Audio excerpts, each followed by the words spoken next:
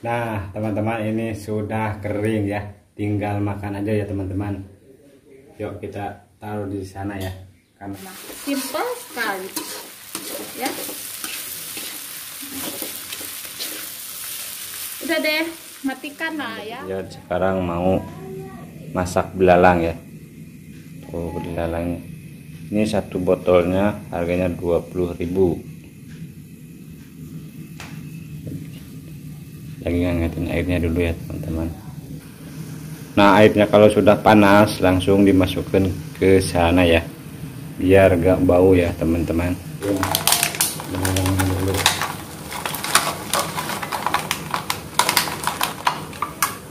Hidup-hidup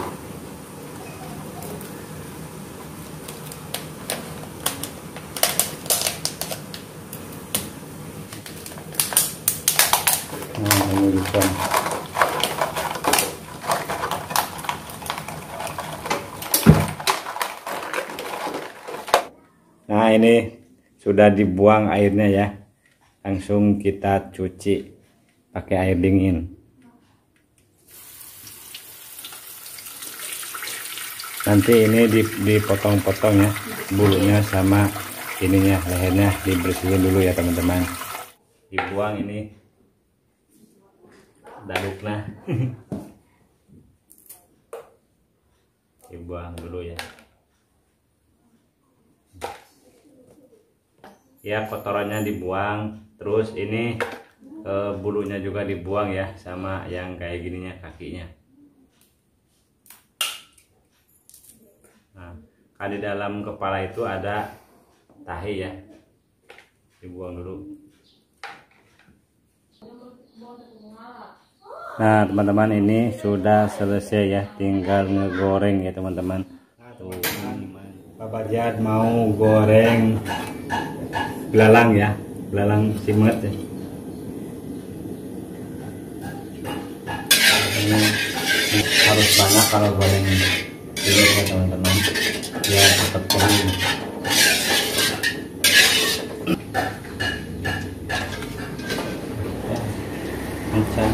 nah teman-teman ini semetnya dimasukin dulu ya.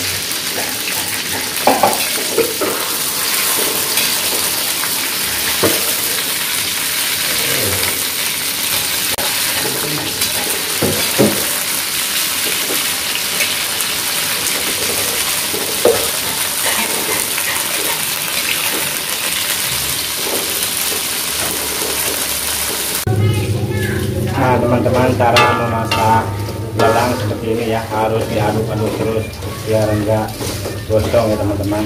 Ini hitam ini bukan gosong ya teman-teman, ini begini ya warnanya. Ini eh, bumbunya ini micin sama garam ya.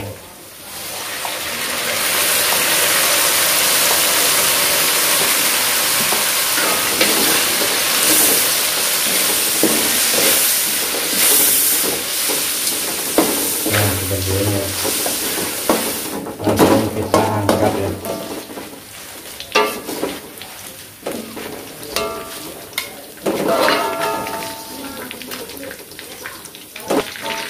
Kalau Bapak Jad mending makan sama macam ini ya belalang ya daripada dikasih daging-daging ya kalau sekarang ya biung ya teman-teman. Nah, teman-teman ini sudah kering ya. Tinggal makan aja ya, teman-teman. Yuk kita taruh di sana ya. Karena ini sudah matang. Mati.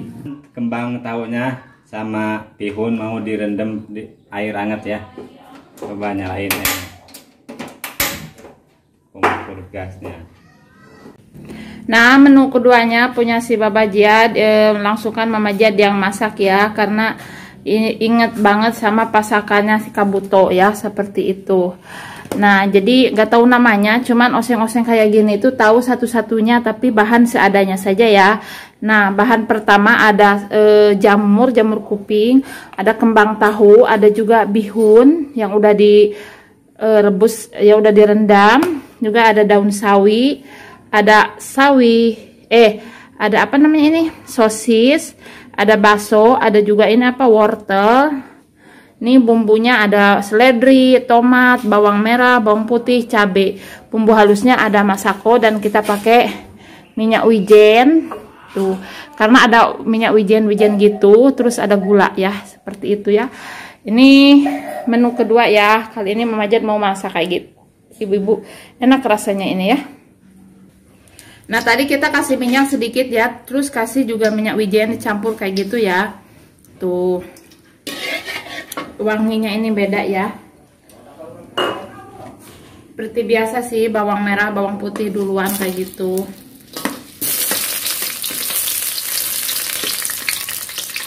ini enak banget ya ibu-ibu sayur kayak gini tuh ya.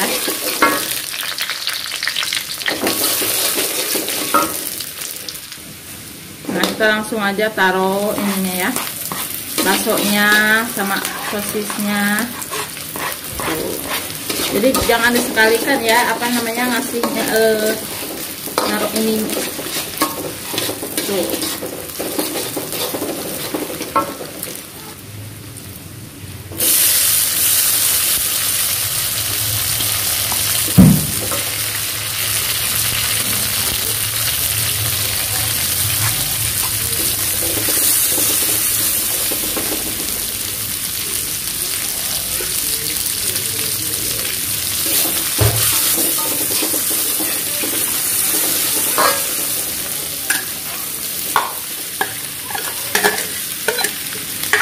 kita masaknya itu agak banyak kan begini nih soalnya pagi dan sore ya eh pagi dan sore sama sahur sekalian Tuh.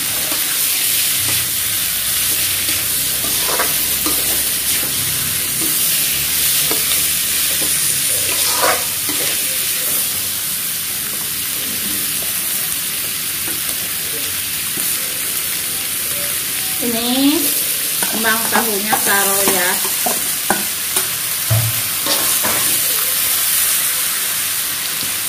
Juga bihunnya.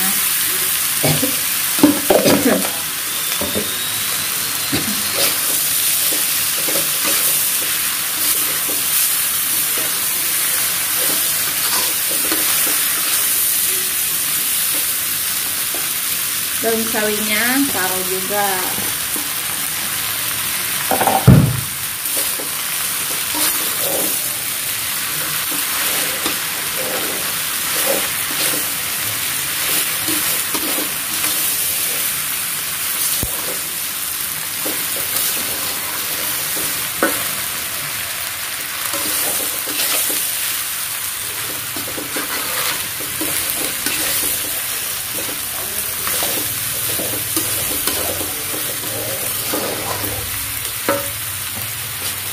lalu kita kasih masako ya. Kalau kurang bisa tambah lagi ya. Tuh ramai sekali ya ibu-ibu ya. Warnanya juga cantik sekali.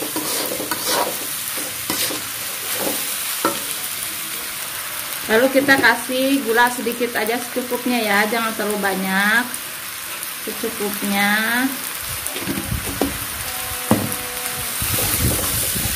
ini wangi minyak wijennya itu wangi banget. Ah pokoknya enak aja ya.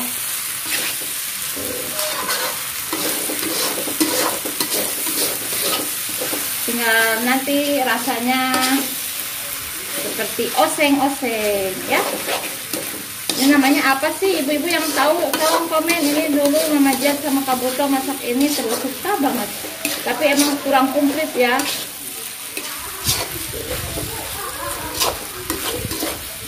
cantik gak warnanya?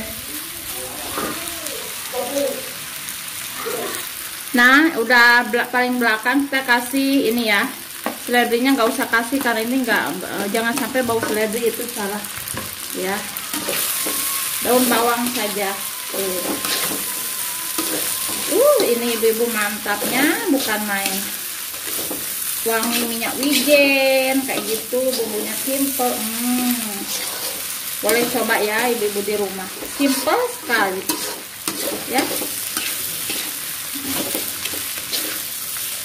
Udah deh matikan lah ya